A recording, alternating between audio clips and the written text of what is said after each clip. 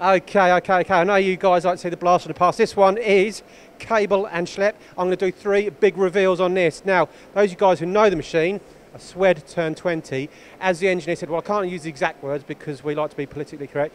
It takes a massive, massive cuts. And also, good to see, MTD have already been here. But anyway, moving on. First big reveal. I can don't give it all away, Chris. Work that camera. Work, let me work the camera. I can actually stand in the working envelope. So pretty impressive. Very easy to get to your components. There you go. Do you like the footwear, by the way? Thank you very much. Now, next bit. Big chuck there, big turning diameter, up to 750 mil on reliable inform. So that's got a big, big component there.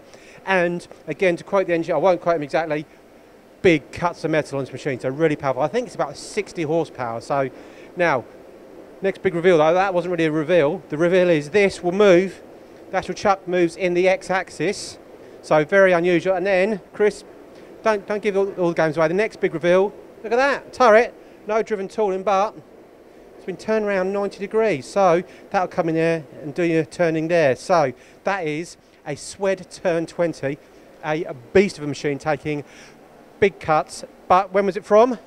I'll give you a little clue. Not as old as me. In fact, it was another big reveal, 1976. you